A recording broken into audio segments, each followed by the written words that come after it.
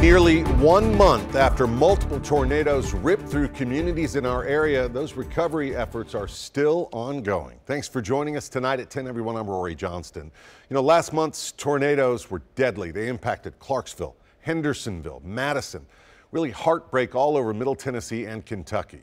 Now, we care how this story ends, which is why we wanted to share this plea tonight for help from a community group that says much needed donations dropped significantly after the holidays. Our Jason Lamb tonight with a look at how you can help.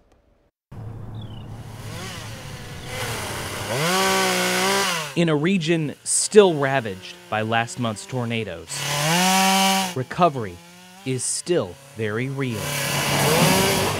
But at the Community Resource Center, This is our cleaning area and laundry.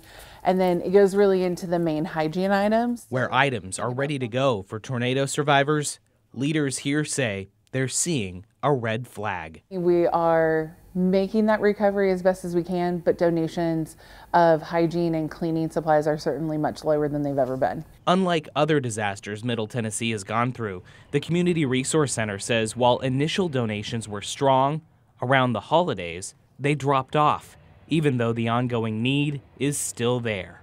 I think part of that is just giving in general. Like you've you've got kids or family members that you're buying gifts for. You maybe have already designated um, your end of year giving, and then to have a tornado happen so close to the end of the year, um, certainly I think that's impacted people's just financial status. The Resource Center says rather than donating used clothing or other used items they don't accept, there are easy ways for you to still make a difference. Cash is so important because we can buy the specific things that are being requested by case management and caseworkers for these families, but also our Amazon wish list is updated on a regular basis. So as those needs come in, they get added to the list.